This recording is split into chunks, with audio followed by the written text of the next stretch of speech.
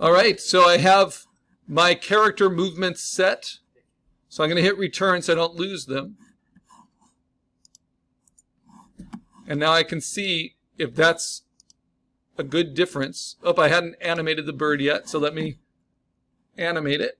So I can do puppet warp. That's where we ended the last video.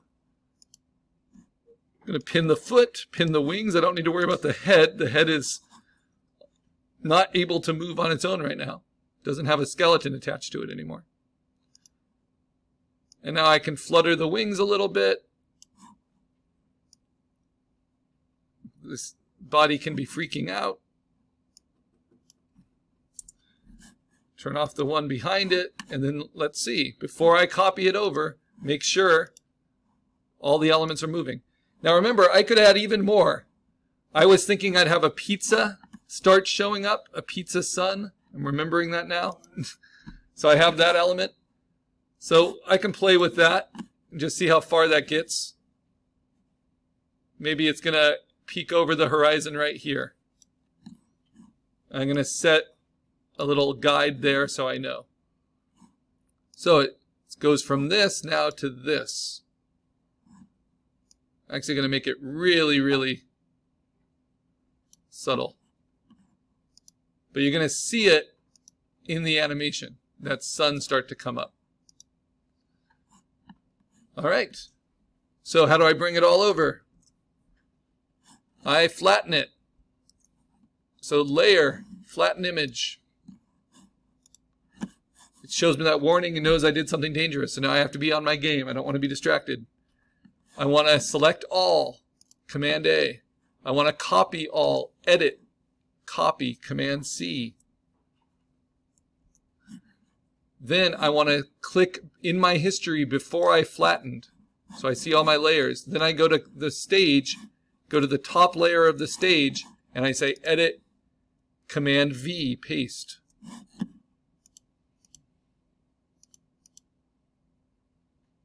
And it's a little weird that the, the pizza starts coming up at the same time the head comes up. So I'm going to change my idea there. That's what's so nice about having assets is you can just change your, your direction completely. So instead, I'm going to move the pizza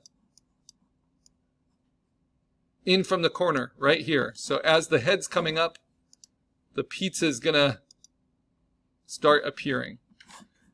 So same thing, layer, flatten image, Command A, Command C, go before I flattened it, click on stage, Command V. Yeah, I like that better. Now, save it. So I'm adding something that's not in my storyboard, the, the pizza, but it's just a secondary thing. But I have to keep it in mind. I can't forget about the pizza all of a sudden because you expect things in the sky to move at a consistent rate. Next, Just want to see my history really clearly. Gonna move the pizza. And I'm gonna duplicate it. And then move it down a little bit. I need to do this evenly. Pretty slowly too. So I'm going to do a half inch at a time using my guides. Okay, now I can move the rest.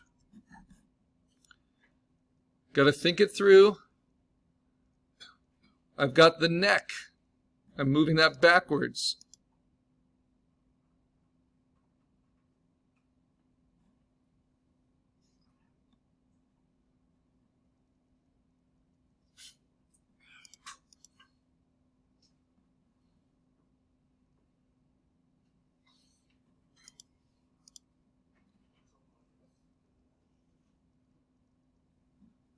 And then I duplicate the hand and I move it up to match.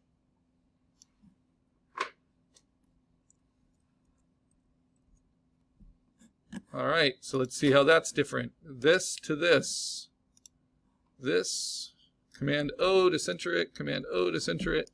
This, come on, Command O. There we go. This to this. Okay, now I want to move the body. Again, you duplicate it so you can always reproduce the frame if you need to, even though it can be a pain. There's a reason I'm not an animator. There's a lot of it that's just kind of an arduous pain to me, but it's something. I'm just going to move the body that way, tilt it up, flex it out a little bit, pull in the wing. So from this to that, yep, that works. Okay, what do I do? I can save it before I flatten it, but never after I flatten it. So I say layer, flatten image, dismiss the warning. Command A to select it all. Command C to copy it all. Click before I flattened it, go to the stage, and then paste it in. Command V. I'm using the shortcuts because shortcuts really help. As long as you understand the steps. Now I'm going to move the pizza. I'm going to always start at the pizza. I'm working my way up. And I'm going to go a half inch so I can use my guides.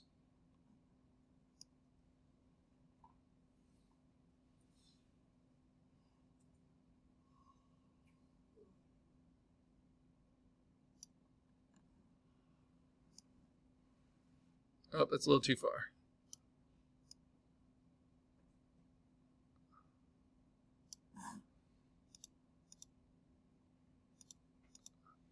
That's a little too far. I'm going to do quarter inch. I can actually set all those stages right here. Yeah, because that's a quarter inch movement right there. Okay. So it's going to go from that to that to that. Nope.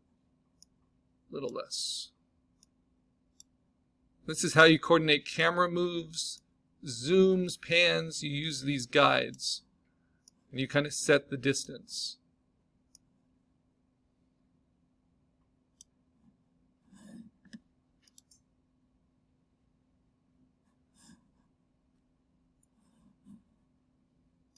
So it was there. Now it's got to be to that third one.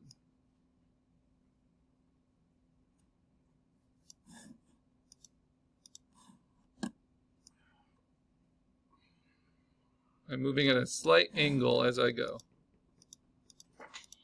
Good. Okay, that works. Okay, next. So, Command O, Command O, just to center it from that to that. So now I have the pizza in the right place. Now the bird. First I do the neck. I work from the bottom up. And then I do the head on the neck.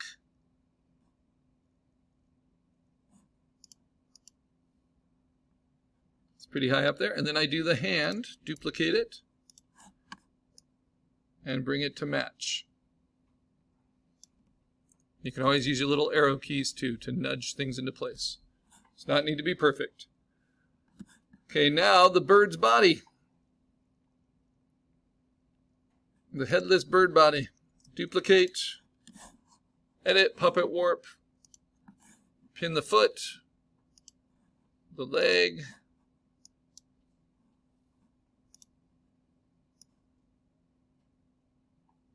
can really stretch it up if I want. Pull that back down a little bit.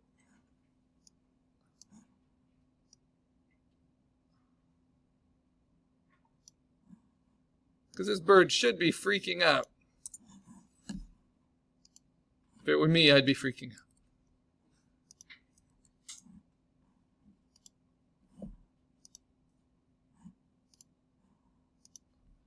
Cool. Can almost hear the accordion sound. Okay, now how do I bring this over? Save it first, and then I'm going to say layer, flatten image, Command A to select it all, Command C to copy it all. Click before flatten, and then move to your stage, and Command V to paste it in. So Command A to copy, no, I'm sorry, Command A to select it all, Command C to copy, click before you flatten the image to get your layers back, and then click on your stage and Command V to paste it in. That's what's called a workflow. It's always going to be those same steps.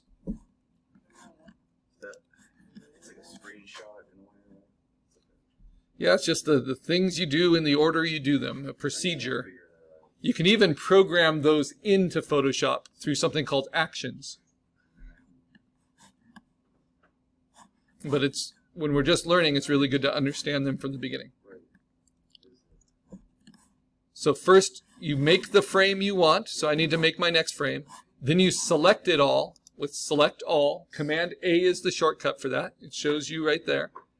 Then you copy it all, edit, Command C, so it's edit copy, the shortcut's right there. Then you go back before you flattened it in your history to get all your layers back. And then you click on your stage and you do edit, paste, Command V to put it all in. So if it helps to write those down, it's Command A, Command C, then Command V. Those are the shortcuts. And then you're flattening and then unflattening in between those. So I've gotten to this part now of the animation. In eight frames, pretty efficiently, this is my story. So it goes like this.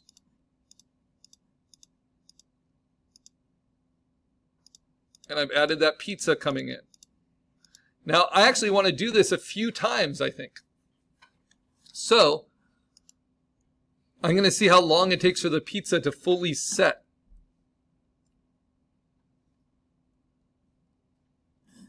So again, I turn on all my frames in my stage because it's working. And now I set up my next frame and it's going to go back down. Now the question is, do I want to just let go of the head like that and then let it come back down or not? Or do I want to push it down? I think it's more interesting. If I just want to push it down, I can just run the animation backwards like this. Right? Except for that pizza. So I think it's more interesting if it goes back down at a different speed. So that's what I'm going to try. So to do that, I'm now going to have the hand let go. And I'm going to be kind of dramatic about it. I'm going to have the hand let go by building those assets. So first, make a copy of the hand, put it up above, not the hand with the head, just the hand. Set it up where it was before, right? And this time I'm going to pivot the hand.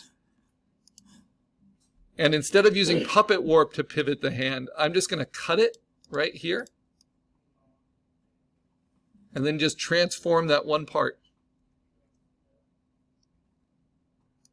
Just pivot it back like that. And then put it back in. So that does it all on one layer. Now I'm going to transform that whole thing and pivot it like that.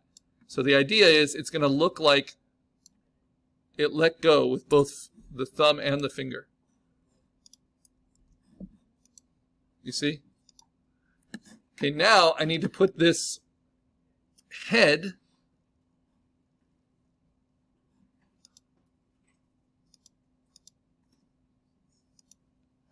back down